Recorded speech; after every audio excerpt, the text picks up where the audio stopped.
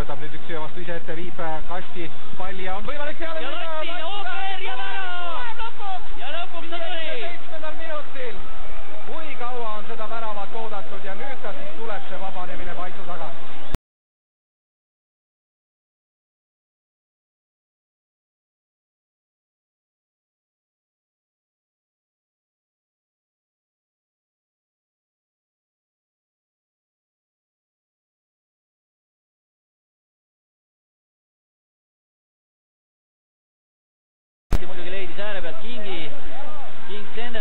Ooper rinnaga, kas oli siin Martin Munk ise, kes lõi ja, ja ooper reageeris kiiresti sellele latist tagasi põrkunud pallile.